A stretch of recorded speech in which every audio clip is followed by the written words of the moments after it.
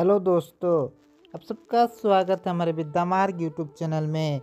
आज के इस वीडियो में हम लोग सीखेंगे हंसना का विलोम शब्द। चलिए वीडियो को शुरू करते हैं।